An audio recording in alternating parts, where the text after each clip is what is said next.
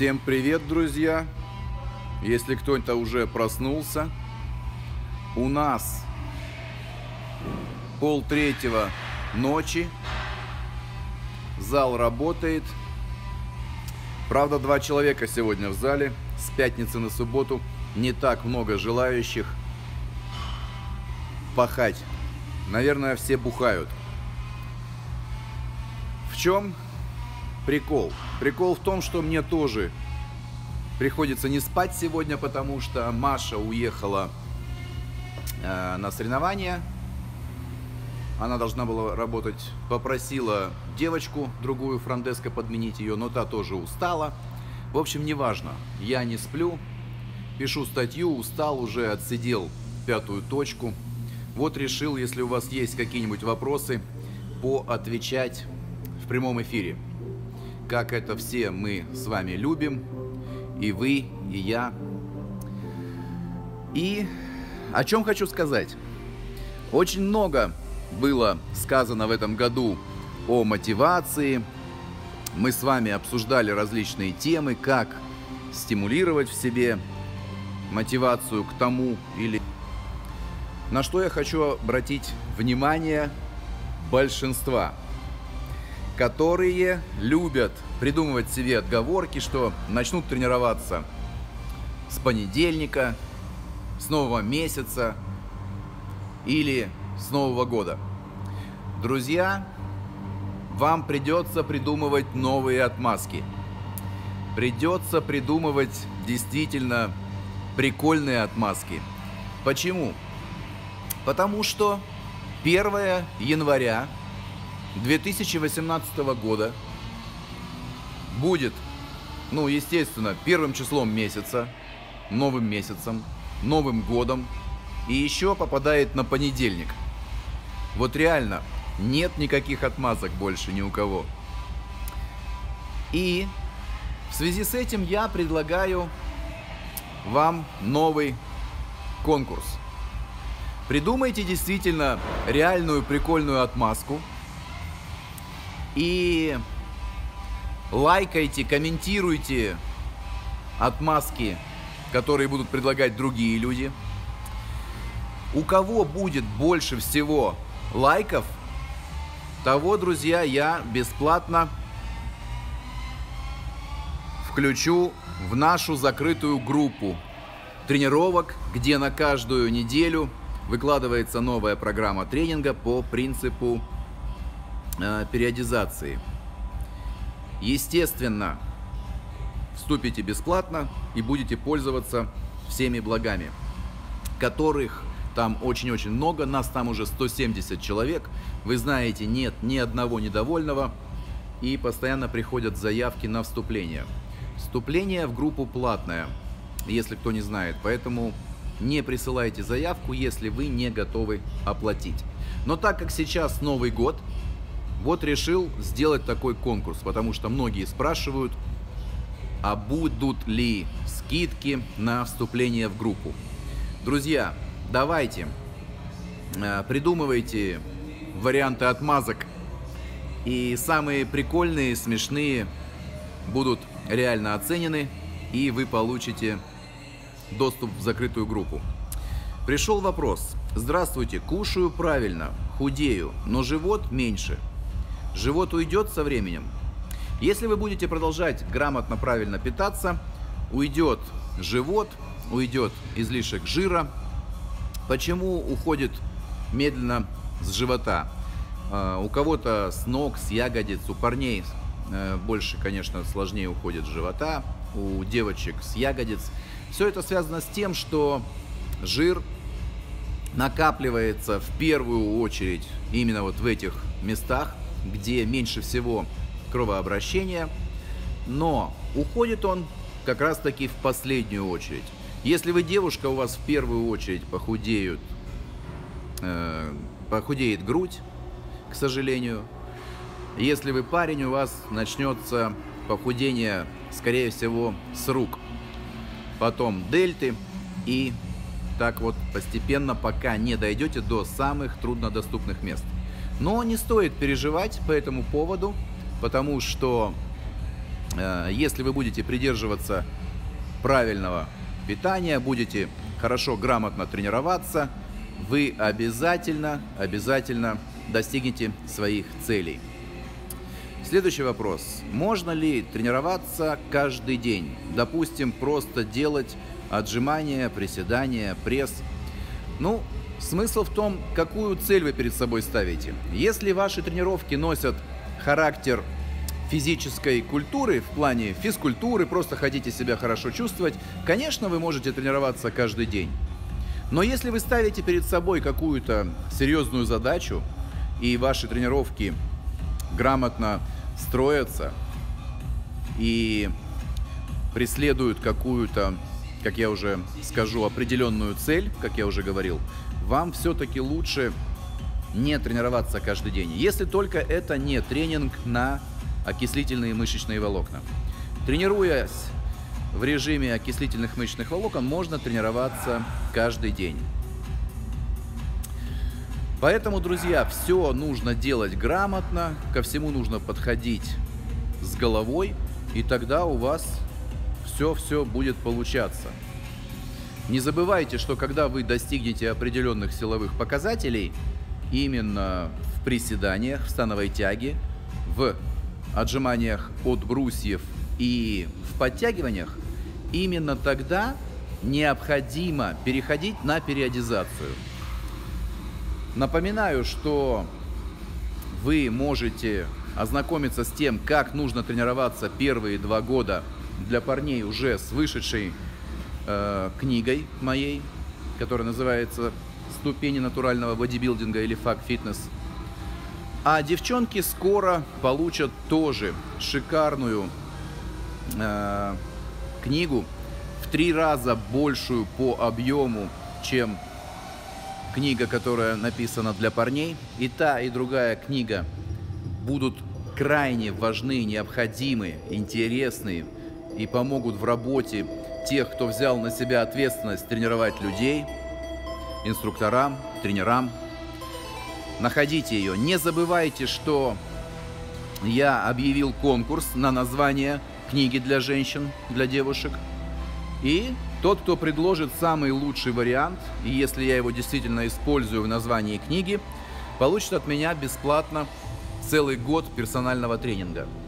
А тот вариант, который наберет больше всего лайков, получит также бесплатное вступление э, в мою закрытую платную группу тренировок. Следующий вопрос. Как я отношусь к жиросжигателям? Друзья, если говорить откровенно, нет сейчас в свободной продаже жиросжигателей. Как только был запрещен, я уже рассказывал, эфедрин, как только его изъяли из жиросжигателей, жиросжигатели перестали быть жиросжигателями. Это термодженики, это еще какие-то Э, различные фигнюшки, за которые не стоит платить денег, а стоят современные так называемые жиросжигатели сумасшедших денег, как вы знаете. Поэтому, если вы будете грамотно питаться, если вы будете подходить грамотно к процессам тренинга, восстановления, то никакие жиросжигатели вам не нужны.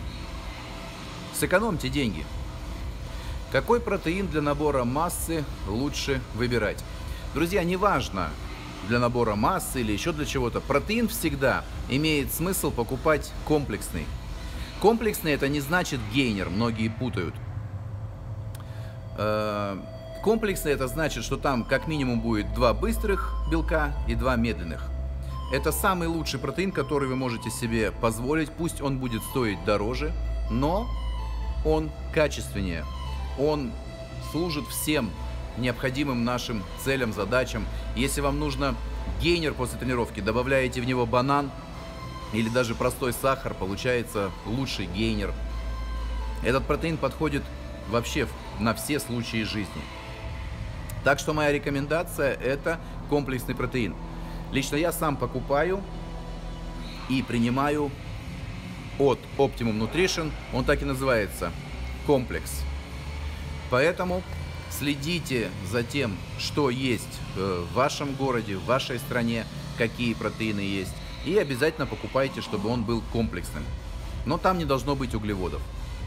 Это как бы самый лучший вариант того, что вы можете себе позволить.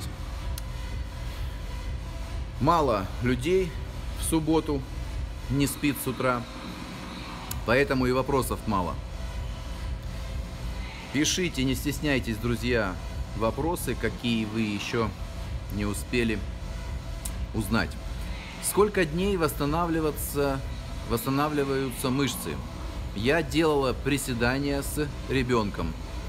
Его вес 18 килограмм. Можно ли это каждый день приседать? И L-карнитин. Спортивная, как вам препарат? L-карнитин очень хороший препарат, он работает именно в митохондриях, он полезен для сердечной мышцы, если у вас какие-либо есть проблемы или вы хотите, чтобы их не было. Особенно если вы много работаете в аэробном режиме, но и для анаэробного режима тоже будет полезен. Самое главное понимать, что L-карнитин это не жиросжигатель, но действительно полезная добавка, если знать, когда, как ее принимать.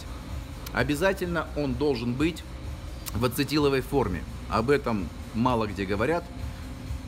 Ацетил L-карнитин. Именно только такое название на банке должно сподвигнуть вас на покупку данного препарата. Очень-очень э, хороший препарат, если его грамотно, правильно принимать. И еще вы спрашиваете, можно ли приседать с ребенком, который весит 18 килограмм каждый день. Конечно, можно, если вы не будете загонять себя, не доходить в отказ, будете тренироваться в удовольствие при правильном положении позвоночника, если вам это удается, можете смело приседать, делать такую тренировку каждый день, и это очень хорошо скажется не только на вашем самочувствии, но и на вашем внешнем виде. Но единственное, должны понимать, что нарастить ягодичные мышцы вы навряд ли сможете таким способом. Сколько должна длиться сушка? Друзья, сушка говорить неправильно, потому что сушка, почитайте мои статьи, я объясняю, что такое похудение, что такое жиросжигание, что такое сушка. Сушка это единственные пару дней перед выходом спортсмена на сцену. И вы должны понимать, что она не имеет ничего общего с жиросжиганием. И вы, скорее всего, хотели уточнить, сколько должна длиться жиросжигание. Так вот, если делать его грамотно и безопасно, вы можете быть на похудении, на жиросжигании ровно столько, сколько вам необходимо. У кого-то это займет 2 месяца, у кого-то это займет 2 года. Но, повторяю, при грамотном рационе питания, если он будет у вас полноценным, вы можете и должны придерживаться такого питания, пока не достигнете той формы, того процента жира в организме, к которому стремитесь. Как относитесь к вакууму? Ну, я уже писал и это делал видеоролики. Это второе по популярности видео у меня на YouTube канале. Зайдите, посмотрите. Мой канал называется Heavy Metal Gym. Я там рассказываю, как правильно делать вакуум. Вакуум это единственное, что может визуально уменьшить ваш живот. Ну и, соответственно, получается как бы талию. Но не уменьшит талию в плане того, что она не станет уже с боков. Это невозможно, только если удалите себе нижние ребра. Мне 48 лет. В моем возрасте будут мышцы расти. Мышцы будут расти в любом возрасте. Главное понимать, если вы только-только начинаете тренироваться в 48 лет, то это совершенно другая история. Вы, во-первых, конечно же, должны пройти полное обследование, проконсультироваться с врачом и начать свою тренировку, свои тренировки с статодинамики. Э, изотон, изобретенный э, уважаемый мной и многими другими грамотными людьми э, Виктором Силуяновым.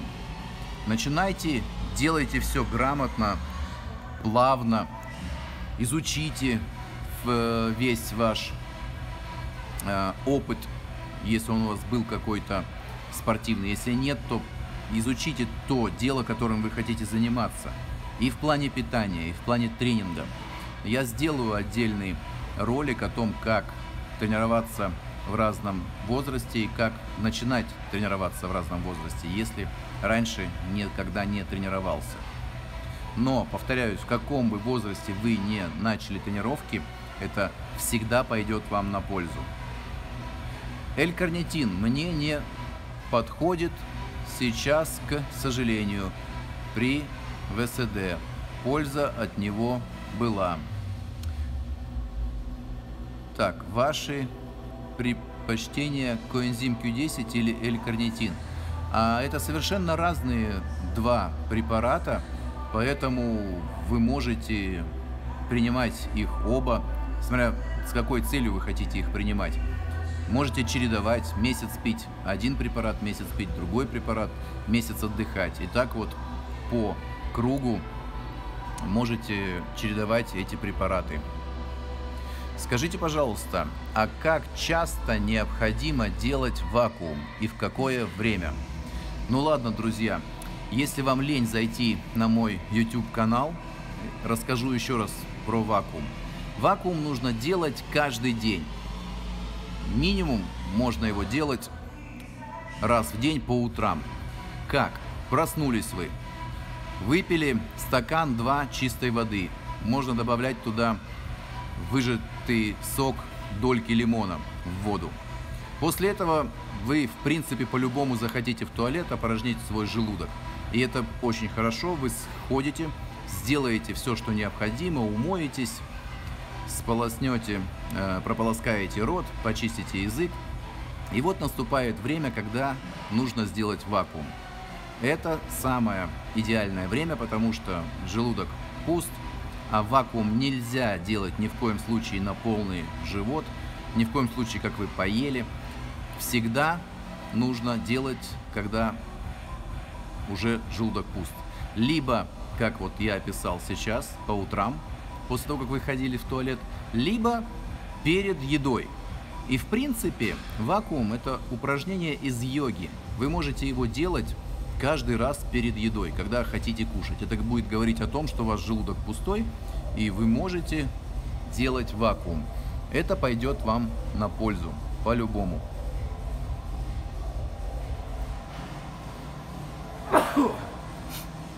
Ух ты, вот это я чихнул.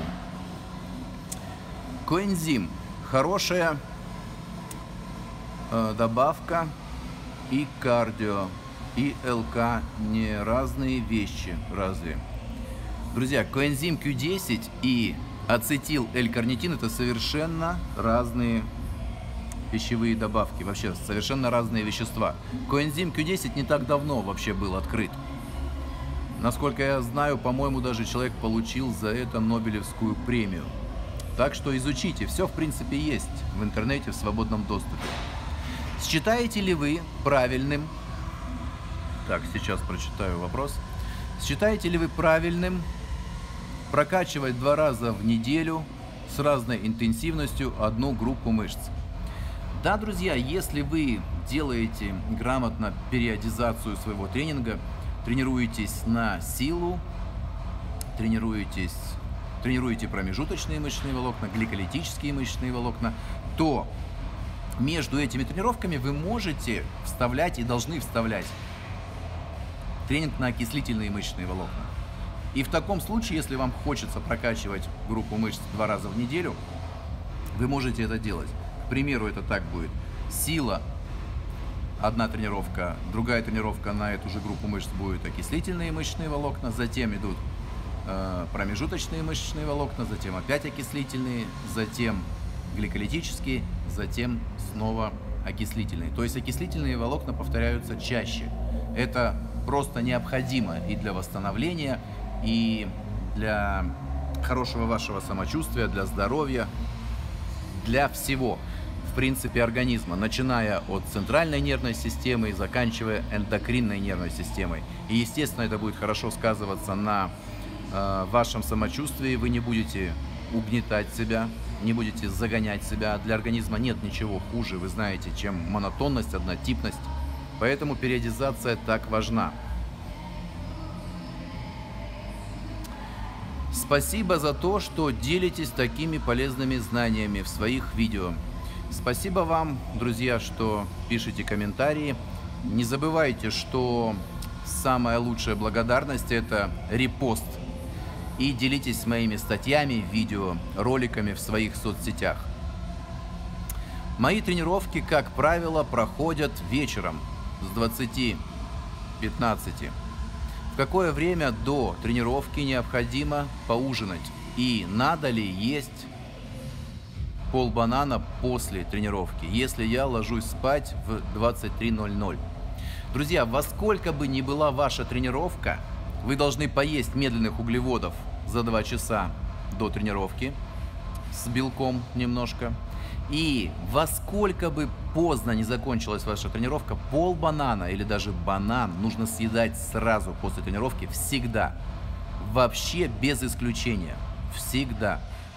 Запомните это как правило, как закон, потому что именно это будет обучать, будет направлять наш организм на то, чтобы инсулин, транспортный гормон, который хватает питательные вещества и везет их либо в мышечные клетки, либо в жировые. Так вот, эти правила помогают нам уменьшить поступление питательных веществ с помощью инсулина как транспорта в жировые клетки, но перенаправить их в мышечные клетки. То, что все мы с вами и хотим. Мышцы будут восстанавливаться лучше и, естественно, будут меньше накапливаться жиры, что вообще просто по себе прекрасно. Спасибо за полезную информацию, за вашу работу. На здоровье, друзья. Всегда рад помочь. Правда, что молочка задерживает воду, и лучше ограничить ее употребление. Да, друзья, только сегодня мы делали прямой эфир, можете его пересмотреть, и скоро выложу его э, в своем блоге на YouTube-канале о молочке. И, в принципе, я не раз об этом уже говорил. Молочка содержит лактозу. Если это кисломолочка, ее там либо нет, либо немножко. Но лактоза это сахар. И когда речь идет уже о серьезной подготовке, когда вы избавились уже от какого-то процента жира и остаются считанные там килограммы, и процесс остановился, жиросжигания, вот тогда следует исключать молочку уже полностью. Опять-таки, если вы девушка, вы должны понимать, что у вас существует менструальный цикл. И все, что бы вы ни делали, и питание, и тренинг строится через призму менструального цикла. Запомните, что в четвертую фазу, ну, когда ПМС, и в первую фазу, когда непосредственно происходит выделение, никакой молочки, вообще просто исключать ее даже если вы не можете жить без молочки. Потому что эти две фазы, четвертая и первая, определяющие. И если вы будете перебирать э, с жирами, неважно, в принципе, с калориями, то все, что вы делаете в другое время, будет перечеркиваться. Следите за этим очень внимательно. Кушайте, употребляйте молочку смело в первой половине дня, ограничивайте во второй и ни в коем случае не употребляйте молочку никакую, ни в каком виде, ни в каком варианте в последний прием пищи. Никогда вообще. Запомните это. Вакуум не выходит у меня. Сколько же не пробовала. На планке подолгу легче стоять. Да, но стоит об этом задумываться. Запомните, что есть такой тест, и нужно выдохнуть воздух полностью из груди, из живота.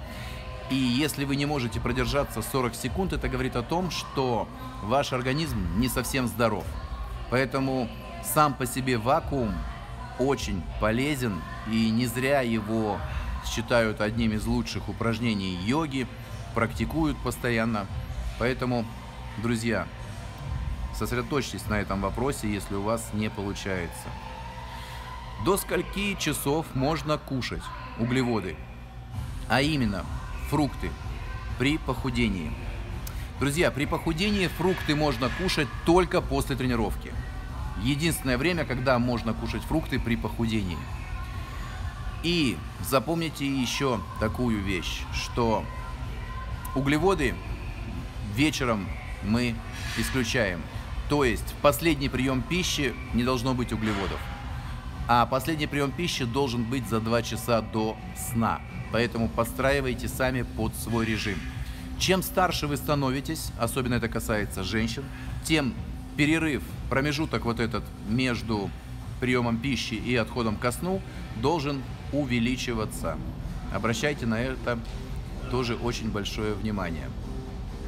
Я огорчена. Я думала, приседая с ребенком, мышцы ягодиц будут расти. Тогда что мне делать? Я вижу результат на ногах.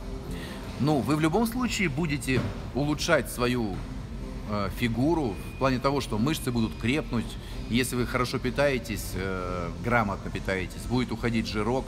Но ягодицы от этого не вырастут. А чтобы росли ягодицы, вам нужно пойти в тренажерный зал и делать становые тяги и приседать. А если не можете или почему-то не хотите пойти в тренажерный зал, вам придется купить эту штангу домой. Но на мой взгляд, это не так продуктивно.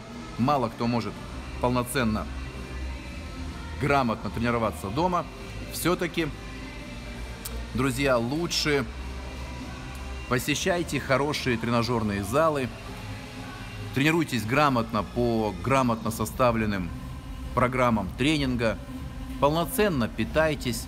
Кстати, обращаю ваше внимание, что полноценное питание не обязательно должно быть разнообразным. Если вам поступает необходимое количество микро-макронутриентов, то можно питаться ограниченным набором продуктов.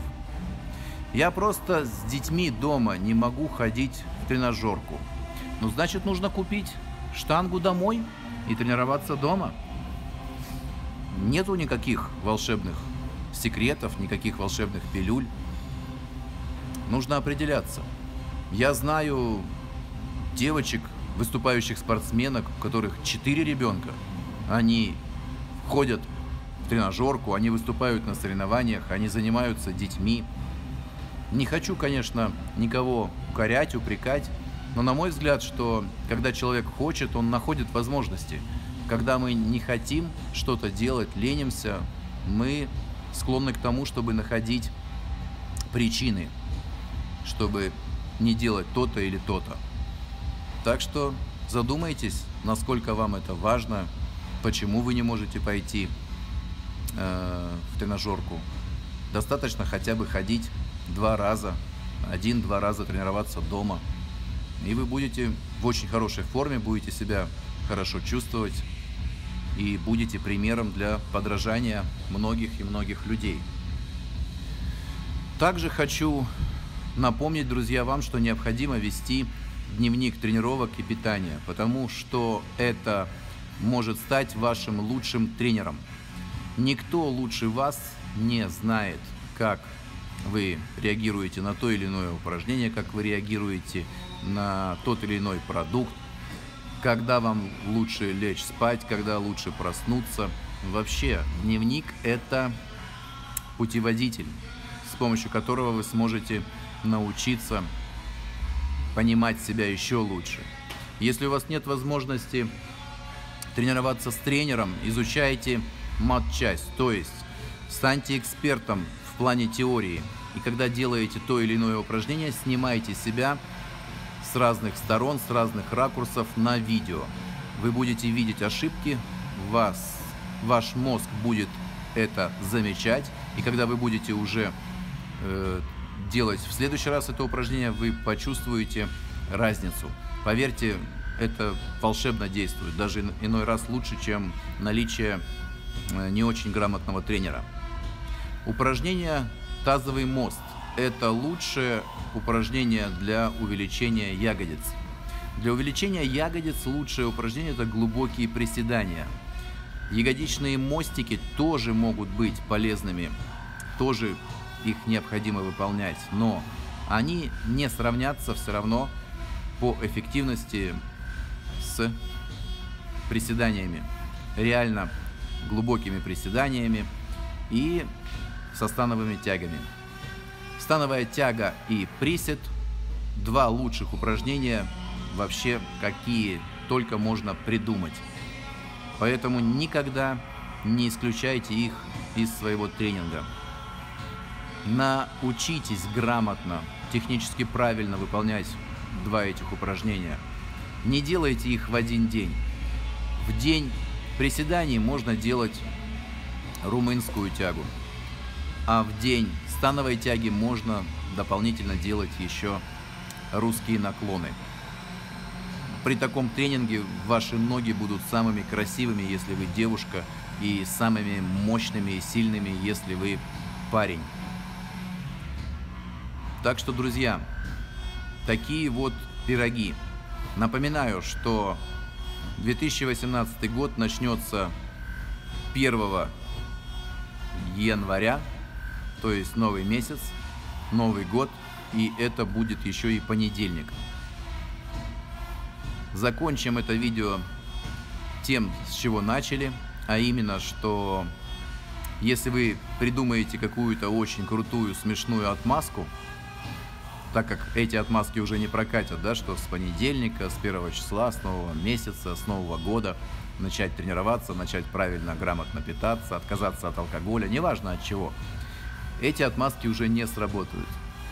Придумайте прикольную отмазку, пишите ее в комментариях, и та отмазка, которая наберет больше всего лайков, ее автор получит бесплатно вступление в мою закрытую платную группу, где вы получаете каждую новую неделю новую программу тренинга именно по принципу периодизации относительно всех типов мышечных волокон.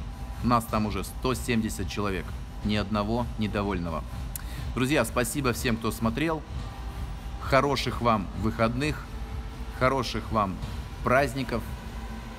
Встретьте этот Новый год здорово, в здоровой атмосфере, здоровой обстановке, с здоровыми людьми. А мы с вами увидимся в следующий раз. Всем пока.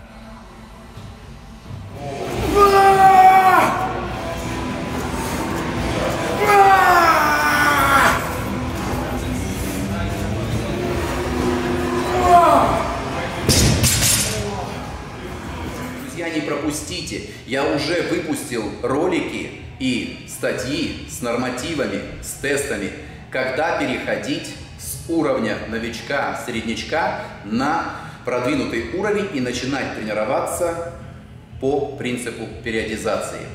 Отдельно статьи и видео для парней, отдельно статья и видео для девушек. Обязательно изучите их, проверьте свои знания, проверьте свои силы, чтобы каждый ваш шаг был на ступеньку выше, чтобы вы не скатывались назад, не топтались на месте, только развивались, только двигались вперед сохраняя и улучшая при этом свое физическое здоровье.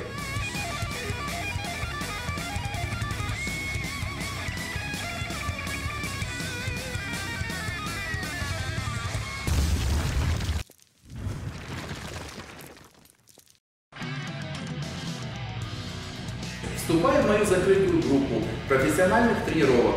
На каждую новую неделю я выкладываю тренинг, как раз таки рассчитанный на циклирование, периодизацию, на все типы мышечных волокон. И тебе не нужно тратить время, просто заходишь в начале недели, открываешь график, и на следующую неделю у тебя полностью целиком расписан тренинг, тренировки по дням, по упражнениям, по количеству подходов, повторений и все, что с этим связано.